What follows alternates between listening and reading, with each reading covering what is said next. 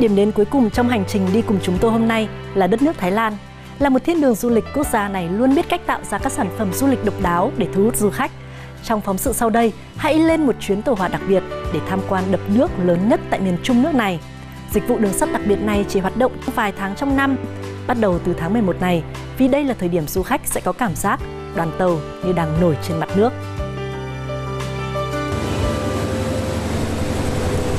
Cảm giác như đang lướt đi trên mặt nước và hòa mình vào khung cảnh tươi đẹp xung quanh. Một trải nghiệm đáng nhớ đối với những du khách ngồi trên chuyến tàu nổi này. Đây là một tour du lịch đặc biệt của công ty đường sắt nhà nước Thái Lan đang thu hút sự chú ý của du khách.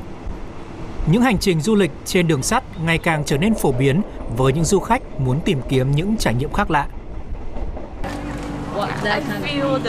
Cảnh tượng như trong phim vậy, một chuyến tàu đi xuyên qua sông và các con đập rất là đẹp.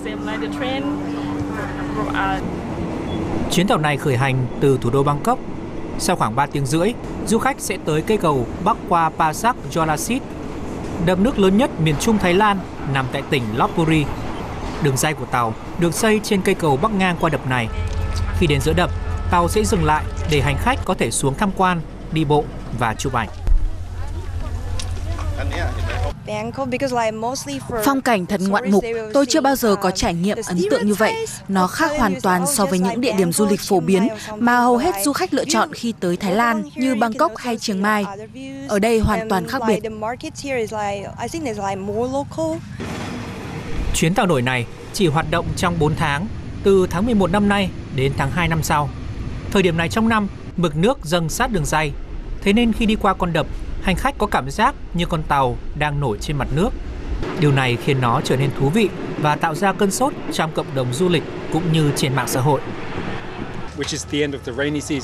Vào cuối mùa mưa, nước lên rất cao, nên khi đi qua con đập, có cảm giác như một đoàn tàu đang bồng bềnh. Thật sự khá độc đáo và thú vị khi có được trải nghiệm đó, vì nó giống như đi xuyên biển vậy. Theo công ty đường sắt quốc gia Thái Lan, sáng kiến tàu nổi này được kỳ vọng sẽ giúp kích thích du lịch đường sắt, tạo thêm nhiều việc làm cũng như củng cố nền kinh tế địa phương.